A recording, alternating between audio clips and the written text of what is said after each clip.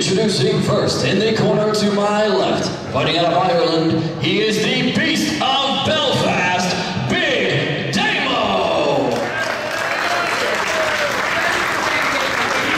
And his opponent to my right, he is Mexico's highest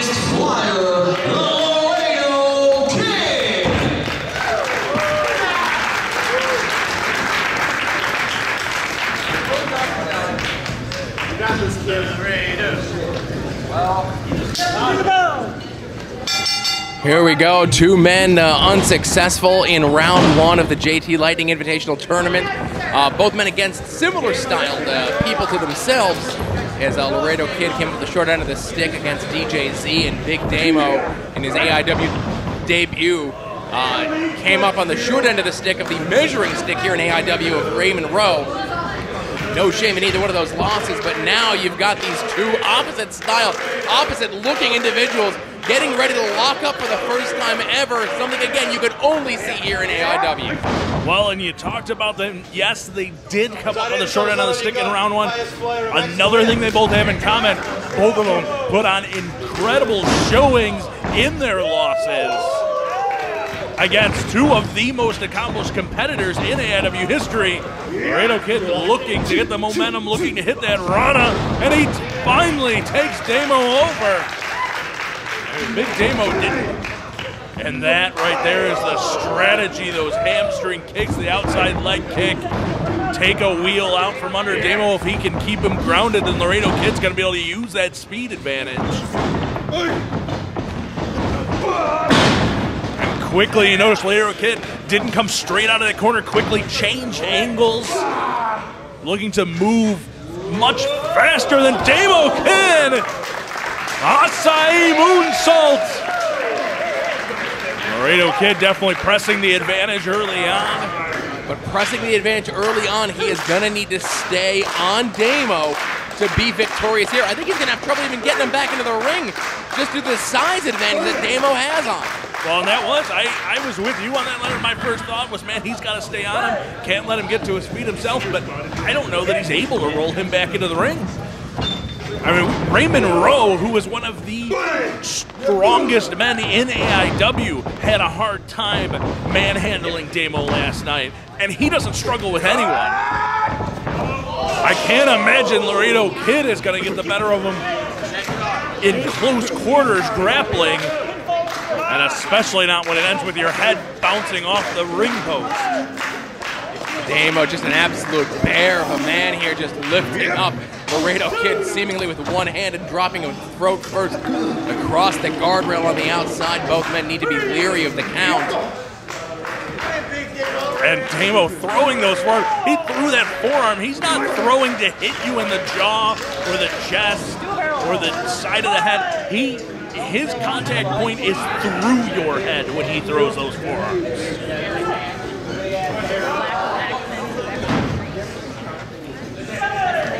Damon just doing whatever he can, every appendage, every opportunity he sees on Laredo Kid. He's just on the attack here.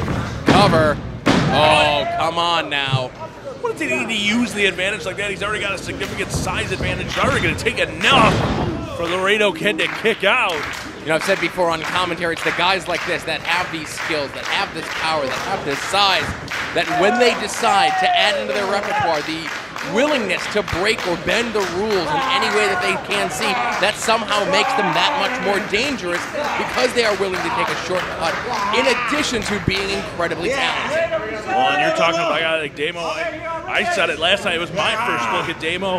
I had the chance to call that match with the absolute champion, with Ethan Page. And I, my only response I could come up with was the man is a monster when you see him in person, and I don't mean that figuratively. He looks like something out of a Universal movie. Just as imposing as can be, and then you see him in action. Laredo Kid, though, definitely wants to avoid exactly the position he's in now. He needs to get back to his feet. He needs to continue to use his speed advantage to change the angles, to move quickly around Damo. and take advantage of that huge lateral speed advantage that he has. Right, and, and Matt, as you mentioned, if the longer Laredo kid stays on the canvas, inability to get to his feet, to get to the ropes, to get to the top rope. Oh, and now he is. He's striking. I don't know if this is going to be an exchange that he's going to win, and he does not. As Damo, with just one kick and one chop, turns things right back into his favor as easily as I said it. Well, and you want to talk about a striking done already, oh, are you? visual. You done? Right before he threw that kick, I could see Damo's right done, leg oh, is as big as Laredo Kid's. He is massive. And I know Laredo briefly had that advantage, but he cannot get engaged in a striking battle. He needs to get as far away as fast as he can. And with authority, gets tossed right into the buckle. And Damo at this point is just playing with Laredo Kid, not even going for a pin, not even pressing his advantage. Backing Laredo in, whips him in one more time. And it's, I mean, he is shifting the ring. And he's hitting those corners so hard off those whips. All that body weight into the corner avalanche, too. And barely getting that shoulder up. Here's the Laredo kid. And just by that kick out, it seemed to infuriate Big Damo as he continues the onslaught, continues the punishment, sends him into the buckle. Big head of steam.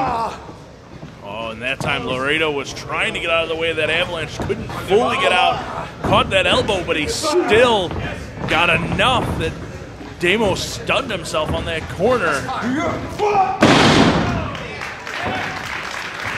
That big drop kick from the top, but look how quick Damo is back up. Those kicks followed by that floating rear neck breaker. And now Laredo Kid has the advantage and he needs to continue. Series of kicks here to the torso, follows it up with an Enzuigiri to take Damo down. And this is what he needs. He's able to get that separation now. He's Damo for just long enough. But that beating has taken such an effect on him. So slow, very uncharacteristic out of Laredo Kid to get to the top rope. Those shoulders to the midsection, and this time much faster up top, but once again, Damo is right there. And this Looking for a superplex perhaps? No, Laredo Kid fighting his way out of it. dropped Damo off the ropes. Laredo Kid trying to figure out what he wants to go for. Goes for that twisting senton, misses. And Damo's senton does not miss. One more time, only hitting two on the cover. And a little bit of frustration. You said he was toying with Laredo Kid earlier. Leonard, he's starting to show that frustration.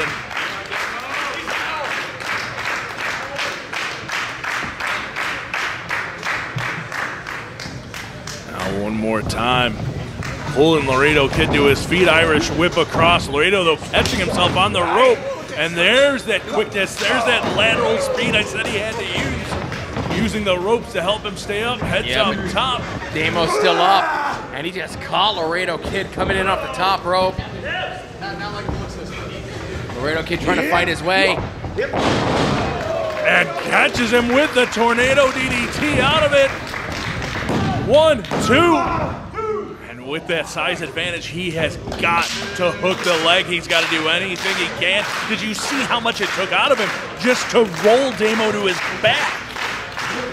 on the second rope, and that's twice he's been in a position and taken off, of the top of the middle rope to avoid Damo coming in at him. Damo, don't let his size surprise you. He's got some speed to him as well. He's just not going to be able to match speed with Laredo Kid, just like Laredo Kid's not going to be able to match power with him.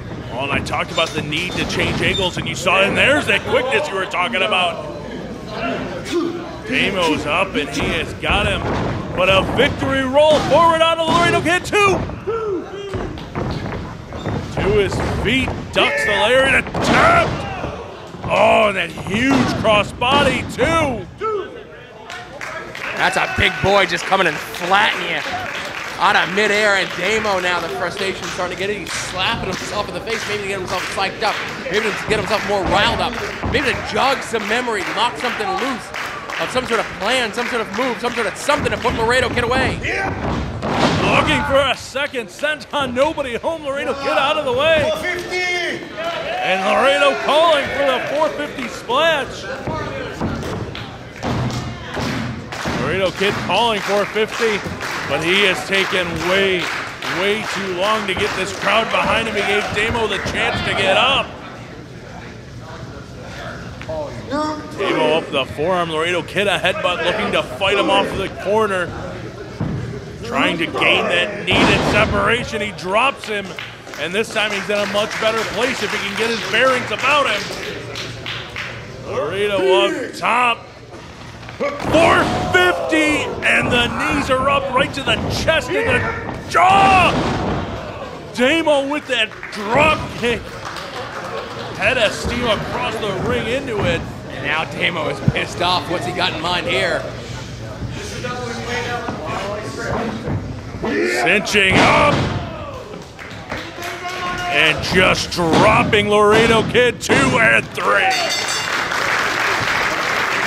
Here is your winner.